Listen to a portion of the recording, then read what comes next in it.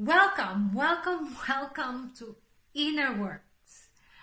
Everything starts within us. Today, let's create a safe space where we can live our truth and have our authentic lives. For this week, I'd like to share to you this quote. The body is the instrument of the mind. I came across this while, while I was studying Thinking into Results by Bob Proctor. So, if we, we will talk about the body being the instrument of the mind, we need to we need to dig deep and talk about and study how the conscious and subconscious minds work. So this is the fundamentals of how we can shift our mind so we could live a more productive and fruitful lives. Okay, so let's put this into a simple analogy where we can apply in our daily lives. So remember when we were young, we don't know how to tie a shoelace.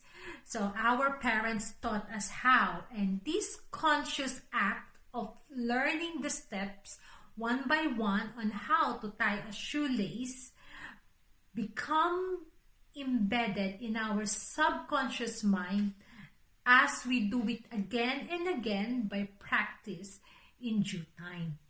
So, not knowing of how to tie a shoelace, conscious act become subconscious act and became a habit that now even without thinking or even if our eyes closed we can tie a shoelace because it was embedded in our subconscious mind and became a habit.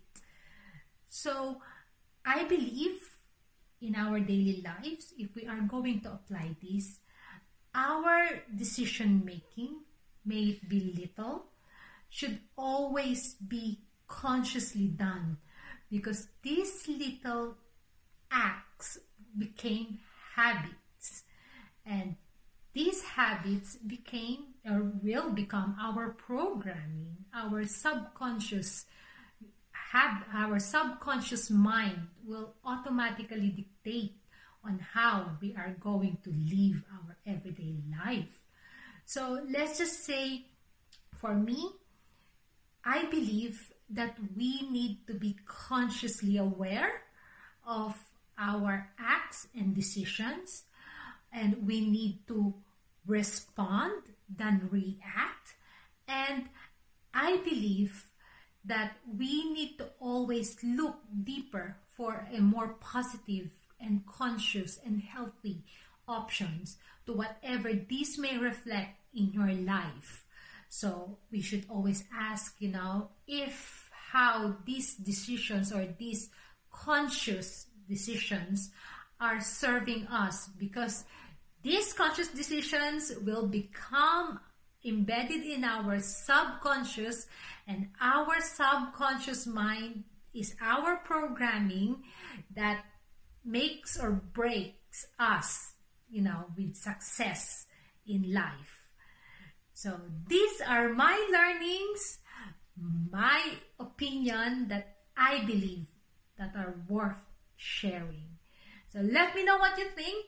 Um, comments are very much appreciated and share it to your friends if you think that this is something that they might be, you know, be of they might be find they might find value.